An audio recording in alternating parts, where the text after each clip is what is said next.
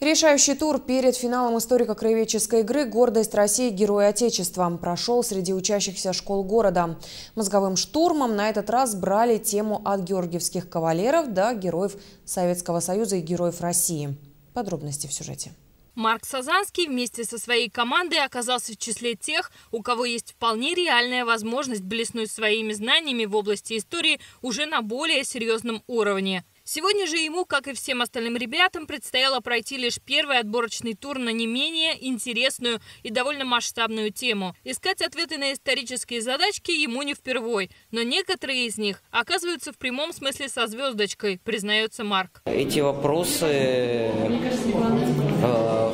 в принципе, достаточно простые для нас, так как мы к ним а, усердно готовились. Но есть такие, которые могут вызвать у нас сложности, естественно. Самая сложная тема – это, наверное, а, родственники героев, а, так как об этом всяких источников сказано меньше всего. И к этому было сложно подготовиться. Объем работы у команд внушительный, а времени не так-то и много. А потому работа в команде напоминает единый слаженный механизм. В период осенних каникул, когда мы начали муниципальный э, тур э, региональной игры, э, изначально команд у нас было 17. Сегодня в первом туре уже участвуют лучшие команды по итогам прежней игры. Это 10 команд.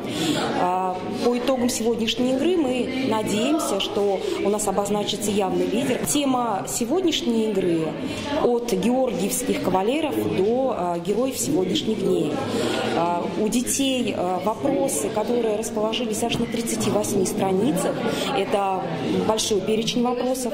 И час дается времени каждой команде для того, чтобы правильно ответить на все эти вопросы. По итогам финишного отборочного тура на городском уровне будет определена лучшая команда, которая и представит Муром в финале региональной исторической игры уже во Владимире. Екатерина Задовская, Алексей Капотов. Новости Муром.